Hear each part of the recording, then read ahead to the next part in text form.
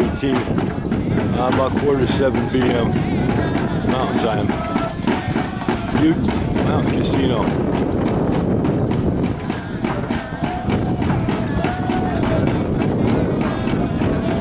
Ceremony here.